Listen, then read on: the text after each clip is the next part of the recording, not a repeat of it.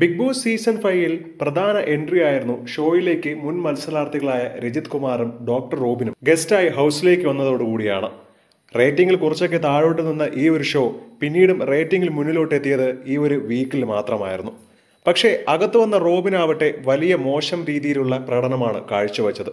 മാത്രമല്ല ബിഗ് ബോസിനെ പോലും വെല്ലുവിളിച്ചുകൊണ്ട് റോബിനെ ബിഗ് ബോസിൽ നിന്നും വീണ്ടും പുറത്താക്കുകയായിരുന്നു. എന്നാൽ റോബിൻ ചെയ്തത് വളരെയധികം നന്ദി കേടാണ് എന്നാണ് ഇപ്പോൾ അഖിൽ മാറാർ പറയുന്നത്. ചലഞ്ചറായി വന്ന ശേഷം ഏഷ്യനെറ്റിനെ പോലും റോബിൻ തള്ളി പറഞ്ഞത് വളരെ മോശമാണെന്നാണ് അഖിൽ പറയുന്നത്. അയാൾ പുറത്തിറങ്ങി സ്ക്രിപ്റ്റഡ് ആണെന്ന് പറഞ്ഞല്ലോ എന്ത് മോശമാണത്? ഒരിക്കലും ബിഗ് ബോസ് സ്ക്രിപ്റ്റഡ് ആയിട്ടുള്ള ഒരു ഷോയേ അല്ല. റോബിൻ ഉണ്ടായത് പോലും ബിഗ് ബോസ് എന്ന ഷോയിലൂടെയാണ്. അതവൻ ആലോചിക്കണമായിരുന്നു. നമ്മൾ ഒരിക്കലും നന്ദി കേട് കാണിക്കാൻ പാടില്ലായിരുന്നു. അപമാനം ഉണ്ടായതിനെ തുടർന്നാണ് ഡോക്ടർ റോബിൻ ഇങ്ങനെ ഒരു പ്രസ്താവന ഉന്നയിച്ചത്. അത് വളരെ മോശമായി പോയെന്നും വെറും നന്ദി കെട്ട ഒരു പരിപാടിയായിരുന്നു എന്നാണ് അഖിൽ മാരാർ റോബിനെ കുറിച്ച് പറയുന്നത്. ഇത് റോബിൻ ആരാധകരെയൊക്കെ ചൊടിപ്പിച്ചിരിക്കുകയാണ്. മുൻപും സമൂഹ മാധ്യമങ്ങളുടെ റോബിന്റെയും അഖിലിന്റെയും വാക്പോരൊക്കെ നമ്മളെല്ലാവരും കണ്ടതാണ്. റോബിനെ സ്നേഹിക്കുന്നവർ പോലും അഖിൽ മാരാർക്ക് ഒരുപാട് വോട്ട് നൽകി എന്നതുള്ളതാണ് കാര്യം. റോബിനെ ഇഷ്ടപ്പെടുന്നവരും അഖിൽ മാരാരെ ഒരുപോലെ ഇഷ്ടപ്പെടുന്നതാണ്.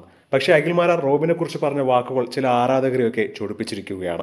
ചിലരൊക്കെ മോശമായ കമന്റുകളുമായി എത്തുകയുമാണ്. കൂടുതൽ വാർത്തകൾക്കായി ഈ ചാനൽ മറക്കാതെ സബ്സ്ക്രൈബ് ചെയ്ത് ലൈക്ക് ചെയ്ത് ഷെയർ ചെയ്യുക.